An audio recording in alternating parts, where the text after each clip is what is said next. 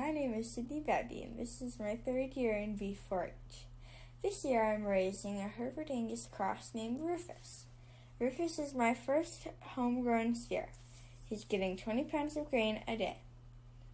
Even though this year has been different, I've still enjoyed every minute of it and learned lots of new stuff.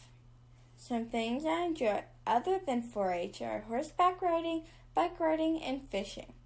Any money I may make from this year's steer is going towards university and my next year's steer. I would like to let you know that my steer is booked at Cam Lakeview Meats for July 21st if you would like it. Thank you to Surecrop Feeds for buying my steer last year. Thank you ever so much for taking